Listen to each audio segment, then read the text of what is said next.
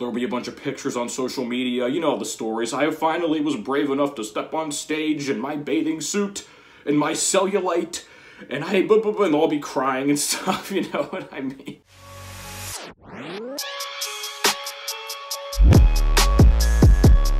Chest up, shoulders back. Welcome to Revival Fitness, everybody. Your home for gains and brains. This is very funny. People will comment, why are you shaking so much? And I'll say at the beginning of the video, I'm on my exercise bike. I guess they don't hear it. They're like, why are you shaking so much, bro? Is it the Clen? It's like, no, I'm on an exercise bike, okay? That's why I'm also breathing heavily. I've been on here for almost an hour now. Because we are, well, two and a half weeks out, just under that really at this point, by the time this video comes out, it might be it might be the week of the show, really. We're gonna just talk briefly, guys, in this video. I'm just kind of riffing here, but this is a prediction. I thought about this like a year or two ago, but I don't think I formally mentioned it. Maybe I very vaguely did, but I want to formally put on record what I think is going to happen in kind of the fitness space, kind of the next thing that's going to happen. So before we do that, get the trap check. Serratus kind of coming in. Plus size, body positivity, you know, that's kind of like the fitness segment of the whole like woke ideology today, if you want to call it that, whatever. But something I've noticed is that fitness, I mean, there's a plenty of woke people in fitness now, you know, like SJW Karen type annoying people, whatever they've gotten into fitness, but from what I can tell, whether it's bodybuilding, powerlifting, it's still been pretty dedicated to actual results, right? Now, how people go about those results is a whole different story. But fitness has still kind of been its own bastion of like, hey, this is one of the last areas where we still value, you know, hard work and personal effort and commitment, responsibility, all this stuff, right? And that's good because, you know, we need some pillars of the culture that still care about that. Here's what I think is going to happen in the next few years. I'm filming this, uh, let's just say July 2022, because it's the end of June, and I'm going to predict, I think in the next two to five years, we're going to see the first body acceptance building competition. And now that I think about it, calling it a competition is probably an oxymoron because it's not going to be a competition. It's going to basically be a glorified participation trophy seminar. So this is what I think is going to happen. Because you see now in youth sports, you know, everybody gets a trophy. You see it a lot in school now. They're basically, I've seen stories of some schools, they want to like eliminate the grading system altogether. Not only are they just lowering the scores over and over, they're going to get to the point where they're basically like nobody gets a grade. You just come here to learn, and that's all it is. Right? There's no like tangible measure of progress or success or anything. So you've probably seen pictures, right, of bodybuilding shows where there will be one guy who's totally out of place, like he's barely tanned, he has like no noticeable muscles, he just kind of joined the show to join the show, whatever. That's funny in its own right. But I think we're going to get to the point where we're going to start seeing up on like these stages, we're just going to see people. And not only just normal people, I think there's going to be a heavy emphasis on overweight and obese people, again, especially women, because they're the ones that make the most noise. There's not many dude health at every size plus size advocates from what I can tell. For lack of a better term, fat people.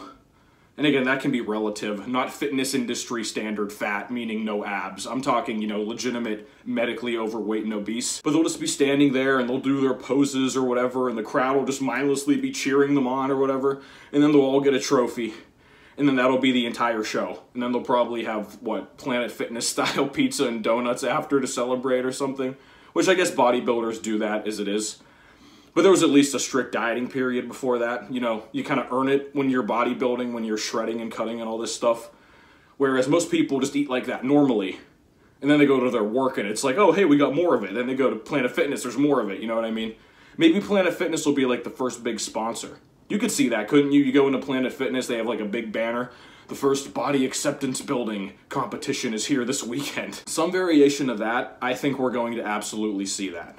And you know the other thing too, right? A lot of these corporations will be jumping on that bandwagon too, because eventually bigger brands, you know, Nike, Adidas, whatever clothing company, maybe like makeup stores too. And then it'll basically just be like runway modeling in reverse.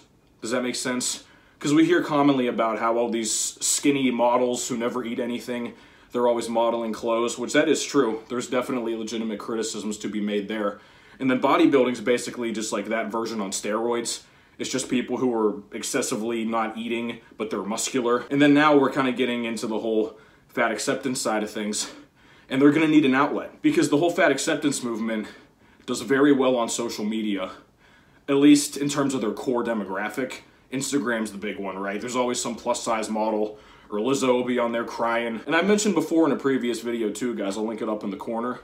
I think of the most recent Sports Illustrated model, I forget her name, Noemi or something. Guys were going off on her, oh, she's so unhealthy and obese, etc. She didn't even look that bad. She looks like a normal woman if you ask me. Maybe a little bit on the heavier side, but nothing extreme. And I mentioned in that video too that it's very rich whenever these massive fitness people, especially all these guys who've been on tons of juice for years, they try to act like, oh, this is not healthy. It's like, dude, you don't care about health or no health that much either. Just because you eat more healthy foods, maybe per se, you're still on a bunch of hormones, exogenous hormones, that have a source that you cannot track. They're coming from some random person, you know what I mean? That's a whole other issue. Still, though, that's what I see happening.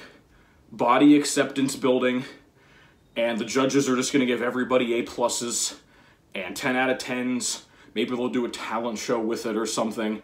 There'll be a bunch of pictures on social media. You know the stories. I finally was brave enough to step on stage in my bathing suit and my cellulite, and I, and they'll be crying and stuff. You know what I mean?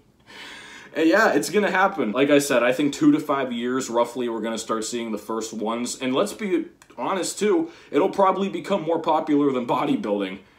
Because aside from the very, very strict fitness niches of like social media, Instagram, YouTube, etc. The average population, the general pop, they don't care about fitness or bodybuilding at all.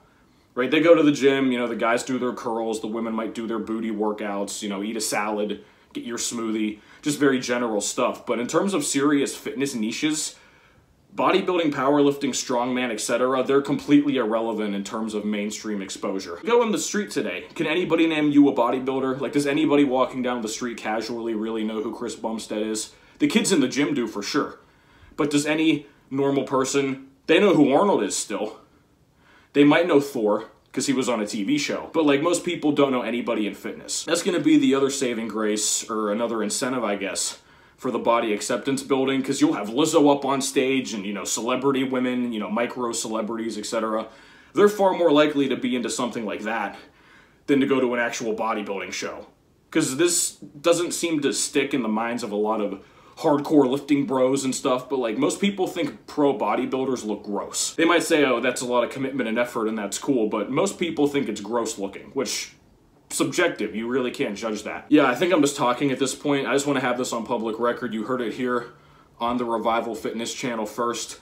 Keep your eyes out for the first body acceptance building competition or show, something of that ilk. I think we're going to see it in the next two to five years, maybe even sooner. And then whenever it happens, you guys can come back to this video and hand me W's. So this has been it, guys. Thank you as always for watching. Be sure to like, comment, subscribe. Tell me what you want to see next down below. Almost showtime. Stay tuned for that. Hit me up in the links down below as well for custom coaching, programs, consultations about your own training and diet.